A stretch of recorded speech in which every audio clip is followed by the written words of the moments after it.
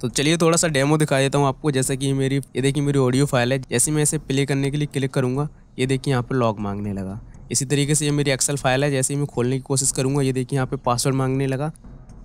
है ना, जैसे मैं पासवर्ड डाल दूँगा, ये जो ना ओपन हो जाएगी। तो दोस्तों, इस तरीके से आप कैसे फ़ाइल फोल्डर पर लॉक लगा सकते हैं, चलिए इस वीडियो में आपको सिखा देता हूँ। अब मैं आपको एक बात बता दूँ कि हमारे विंडोज़ के अंदर ऐसा फीचर नहीं है कि हम किसी भी फ़ाइल को लॉक कर पाएँ। अगर आप लॉक करने का एक तरीका है भी है लेकिन उसमें क्या है ना, वो सेफ़ नहीं है। मतलब जिस बंदे को पता होगा कि ऐसे लॉक लगता है, ऐसे खुलता है तो वो आसानी से खोल भी लेगा, कोई भी आपकी फ़ाइल होगी। तो अब आपको एकदम प्रॉपरली तरीके से लॉक लगाना है किसी भी फ़ाइल फोल्डर में। तो इसके लिए आपको ना विनरार की ज़रूरत पड़ेगी। तो वो आपके में इंस्टॉल है या नहीं, वो पहले आप चेक कर लीजिए। वैसे तो ज़्यादातर हर किसी कंप्यूटर में वो इंस्टॉल होता ही होता है। फिर भी एक बार को चेक करना है तो हम जो है ना सेटिंग में आना है ऐप्स पे क्लिक करना है। इसके अंदर आपको सबसे नीचे आ जाना है।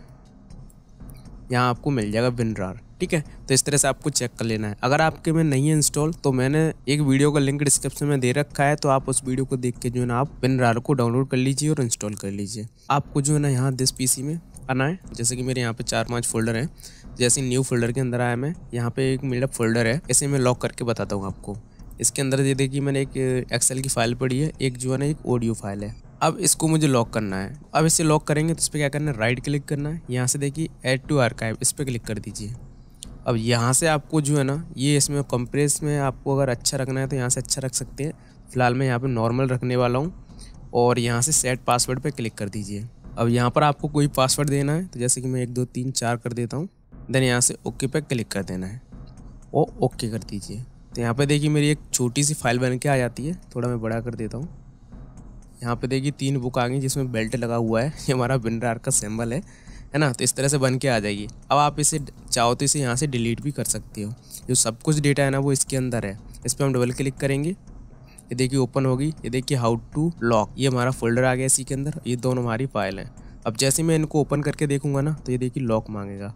लॉक मांगेगा तो हम क्या करेंगे? एक, दो, तीन, चार। इंटर करेंगे। ये देखिए मेरी यहाँ पे ओपन हो चुकी वो छोटी सी दो सेकंड की थी। तो हाल तुरंत बंद होगी, ठीक है? अगर आपको ये फ़ाइल नहीं चाहिए, आपको दोबारा से अपना फोल्डर ही चाहिए तो उसके लिए आपको क्या करना है, इस पर राइट क्लिक करना है।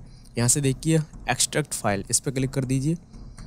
ओके पे क्लिक कर दीजिए। अब जो यहाँ पासवर्ड मांगेगा तो हम जो है ना, वही पासवर्ड दे देंगे। ओके पे क्लिक कर देंगे। तो ये देखिए, हमारा जो है ना फोल्डर वापस आ जाएगा।